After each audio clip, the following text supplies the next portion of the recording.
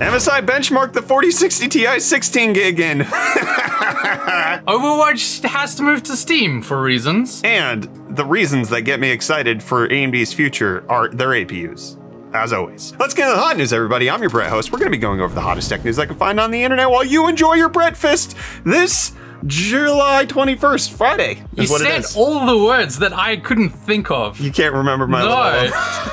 Don't forget, we're actually giving away a PC today over Hey, on our. Twitch stream. We have a 4070 Ti Galax PC with a 1440p 165 hertz Vivance monitor. Come join us over there to find out about that giveaway. We also will set the stage for what the giveaways will look like when we do our drive stream to LTX next week because they're going to be many, they're going to be numerous, and they're going to be fierce. You better believe me. I have been bedridden with shingles for a very long time. A lot of people have noted my appearances in recent hot news that I was high on painkillers. So many comments. I was not. I've been off painkillers for several days now. I'm That's out. just wouldn't- They wouldn't get. I'm. This is just me. I'm not as funny as Kyler, but at least I can news. So let's news it up with the 4060 Ti 16 gig because we found out that nobody got this card. MSI actually didn't even know what this card was capable of until they benchmarked it themselves on their little MSI Insider live show that they have, where they oh, showcase boy. that this thing, oh boy, is right, is slow. Er, than the 4060 Ti 8 gig. Wouldn't you know? They found out that, I mean, mostly these are like within margin of error, especially because the testing wasn't very thorough, but slower in Cyberpunk, slower in F1, slower by 4 FPS in Rainbow Six. It is faster in CSGO. We gotta, we gotta give it props. That's an extra 26 FPS, Reese. That's what I need when I'm clocking in at 400 FPS. I know, I know, I've seen you. Well, you're staring at that counter going, give me more. Yeah. Other than that, I, I mean, this looks like a massive nothing burger of a GPU and a nothing burger of a thing. But the the thing to know here is that MSI took their video down afterwards, which I don't know if this is like standard procedure where they kind of take these down after they're done, or if uh, Papa Jensen might have cooked up a little hurt for them and said, "Hey, made our new launch look bad." Get rid of it! We didn't make it look bad. You, you did by showing everybody what it's capable of. That's what happens when you don't give people drivers. Where were they going to go to? They don't need to go to a restaurant. They got Jensen's Kitchen right there. Yeah? There's nothing. This is what Intel's saying when it comes to Project Endgame. Do you know about this, Reese? You I did not. You didn't know about Intel's Project Endgame? This, in case you didn't know, was their cloud GPU that they were going to serve up to you so you could play video games on your little Ultrabook that you had right there. Stadia at home. Sort of, yeah, kind of like GeForce Now. It, they showed this off in 2022, and on an Ultrabook, they showed how the Ultrabook sucked at running Matrix Awakens, which was that Unreal Engine 5 demo. You remember that? With, is that what they're showing off? That Yeah. was. And so the Ultrabook could have run it, but then when they hooked it up to Endgame, continual compute for the immersive web is what they called it, it could run very quickly. So uh, th- their efforts are on hold. They have no updates. As long as they don't cancel Battlemage or Celestial gaming GPUs, I'm fine. Keep giving us the gaming GPUs. You can do whatever you want on the server side. Set your focus. Set your focus. Just laser in on giving us gaming GPUs. Intel, I swear to high heavens, if you do, if you drop out of the gaming GPU sector, I'm gonna have to scream. I will be genuinely sad. It'll hurt so badly. But yes, it was like Stadia, but for GPU power. The, allegedly, there was like no licensing or like they didn't have to do anything that GeForce Now does to provide the servers because they're not playing the games on the cloud server. It's playing locally, but the use of like a cloud GPU was a cool idea. I'm kind of sad that it's gone, and I'm kind of sad that you, and Kyler, invented all of these neat transitions for UFD deals. We had to do something. Can, can we try one? Can we like phase into each other or something? Oh, you wanna you wanna I was gonna.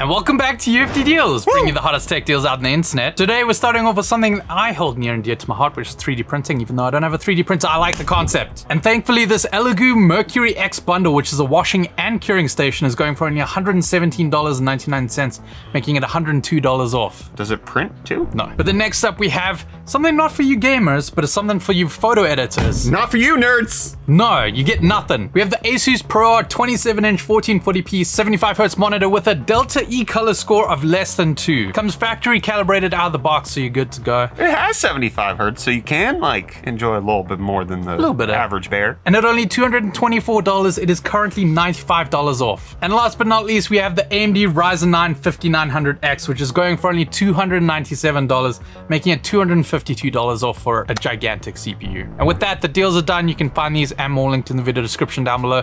But until next time, I'm gonna hand you off back to Brett for the rest of your hot news.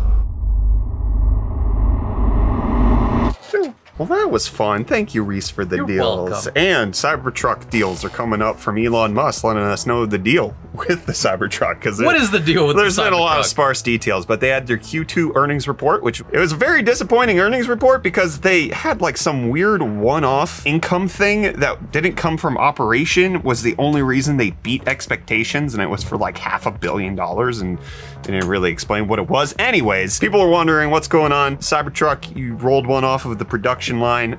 They didn't tell anything about the price or, you know, a lot of the details, but they did let everybody know that it's a 19 foot truck with a six foot bed, which for you, Reese, might not mean anything. No, those are fake numbers. Those are fake numbers. So it's roughly six meters in length, roughly, and then it has a two meter bed, roughly. It's not exactly, but You're lying. well, this is different than like my F-150 Lightning because my F-150 Lightning is 19 and a half feet with a five and a half foot bed.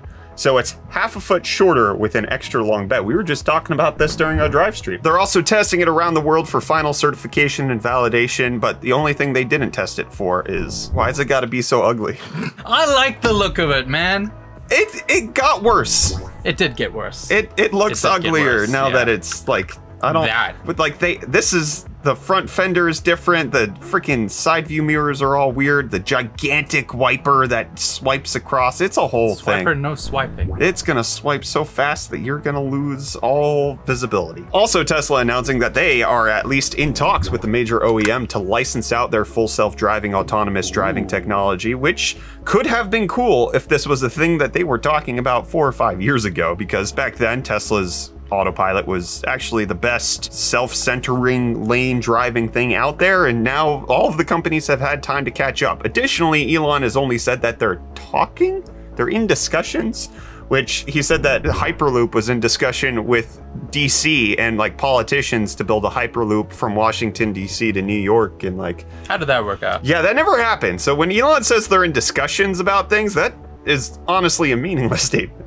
so we'll find out if the full self-driving gets licensed anywhere and in case you have to watch out for other cars that are trying to aggressively run you over It's great stuff. that was made up it, it hasn't run over nobody Teslas aren't real. And Overwatch 2 is kind of abandoning its home place, coming to Steam. Battle.net might not be real anymore Yeah, no, frick Battle.net. I hate Oh, Battle.net. really Yeah, oh why because it's just, it's so much extra. I want like one, one game launcher, one game manager. Are you saying you're pro monopoly I'm pro Monopoly. can't argue with that Who knows, more Blizzard stuff might be making its way to Steam, but this is coming on August 10th. Do you guys care about Overwatch 2 anymore? Like, what's going on there? There's a whole esports league debacle where Yeah. they're losing like over a hundred million dollars And somehow. It just feels like nobody cares. I don't see anyone talking about Overwatch. Is this just like This trying to get more players now, making it more accessible on Steam? well, Team Fortress 2 just saw a huge resurgence because they did an update, like their highest player count ever. Yeah, but like And so now the Team Overwatch. Fortress 2 was Overwatch before Overwatch was well, if they come out with Overwatch 3, does that mean that Valve loses because they counted to 3?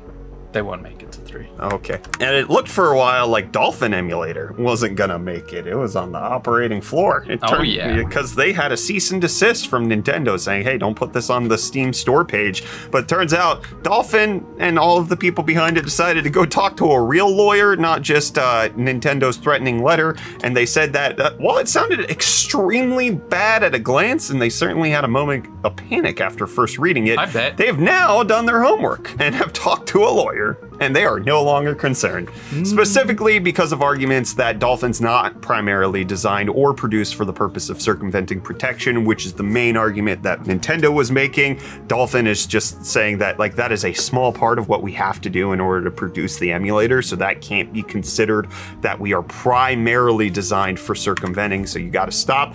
Additionally, they're saying that they believe Dolphin is not in any legal danger and that they will be moving forward with their Steam launch. It just won't have have a coming soon page because that's specifically what Nintendo asked for it to be taken down with Valve. So it seems like it. Yeah, Nintendo's lawyers are scary, man. Yeah. But when you have a community behind you, somebody who believes that this is injustice, like uh, eventually people are going to get sick of Nintendo being as aggressive as they are. Maybe one day they'll lose favor with everybody, which you would think. But Nintendo still doing really well with the Switch. People not liking Nvidia, and they still have 90% GPU market share. That's true.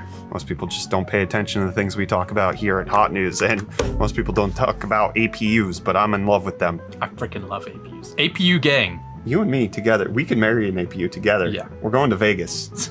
Yes! we're going on a road trip next week. It's happening. Anyways, we're getting details popping up of the upcoming 8050 APUs coming out from Ryzen, known as Strix Point. And what it turns out is that this thing is going to be. You think your Z1 Extreme in your ROG Ally is nice and fast? It's nice and fast. This is going to be something on another level. So we're expecting that these will be between 12 and 16 cores. So there's the Strix Point, which is the regular one, and Strix Halo, which is going to be the the Halo, the an flagship APU. one. Yeah, in an APU. So 12 cores, 4 Zen cores, either 4 Zen 5 cores with 8 Zen 5C cores, which are their dense little ones. We talked about previously, people thought the C cores were like the efficiency cores that Intel has. AMD came out and was like, no, these are full cores that we figured out how to smush. So they're just they're full full power, Mini but just boys. mini boys. Or it'll be eight full cores with four C cores. Not quite sure, but it'll have 16 compute units of RDNA three and a half. So this is going to be 33% more compute units than what's in the ROG Ally, and it likely is going to be a little bit faster than that. So we're looking between 35 and 40% faster than the ROG Ally. Just like The handheld game about to go specs crazy. alone. Yeah, so they're looking at 28 to 54 watts, so you can get a lot more out of the top. But then the Strix Halo, 16 cores with 40 compute units of RDNA 3.5. 40. That is over three times what's in the Ally right now. Now the the TDP on that 55 to 120 watts, so we're likely not going to see that in handhelds. But you throw this in any sort of like nominal gaming laptop, friggin' the cooling on that's going to be able to handle this APU, and then you're you don't even need a GPU anymore. yeah. That's gonna be insane. I am all for this. That's like that's PS5 beating levels of numbers. AMD, this better be real. I want it. I want it in my system, and I want you to come watch us over on Twitch so that we can do giveaways with you. Additionally, we are going to LTX next week, drive streaming. At least we'll be drive streaming together. We don't know if Reese can get into Canada yet. What's up with your passport, man? It sucks. South African passports. It's weak sauce. Not lekker. Not it. Cock.